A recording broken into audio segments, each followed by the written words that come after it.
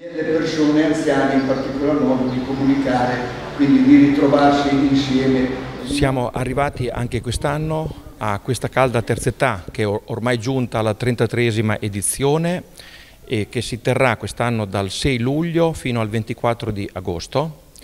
ed è eh, come ogni anno e quest'anno ancora di più un insieme di tante iniziative, incontri, momenti conviviali, eh, visite culturali, turistiche, enogastronomiche. Ecco, mm, la varietà è sempre maggiore di anno in anno, anche quest'anno davvero l'offerta è molto articolata e ricca, gli anziani sicuramente non si annoieranno anche durante quest'estate che speriamo sarà eh, comunque mite anche da un punto di vista meteorologico ma eh, soprattutto è importante perché oltre alla varietà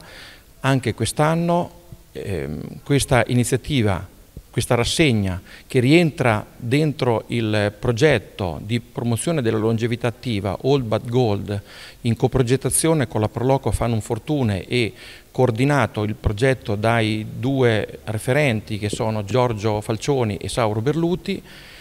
anche quest'anno prevede eh, un'apertura, un'apertura non solo alle collaborazioni con altre associazioni del posto,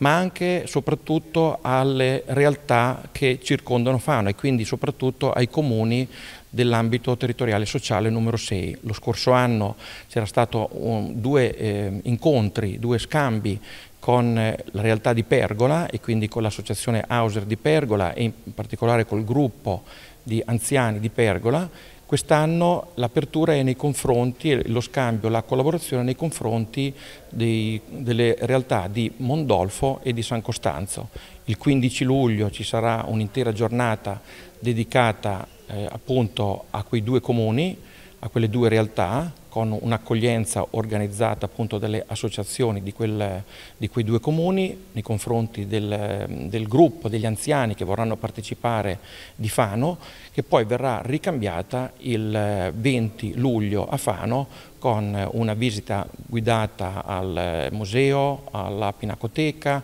e poi con eh, una serata che si conclude sempre in maniera conviviale anche con alcuni riconoscimenti. Ecco, è un bel esempio appunto di un territorio, di una comunità che nel promuovere iniziative di incontro, di socialità, di aggregazione e quindi di promuovere il benessere per la terza età eh, si occupa e mette insieme tutte le realtà che sono presenti sul nostro territorio, ma sempre con uno sguardo verso anche gli altri comuni, verso gli altri comuni dell'ambito. Io credo che davvero anche quest'anno sarà per gli anziani di Fano, ma poi anche per gli altri, sarà comunque una bella estate.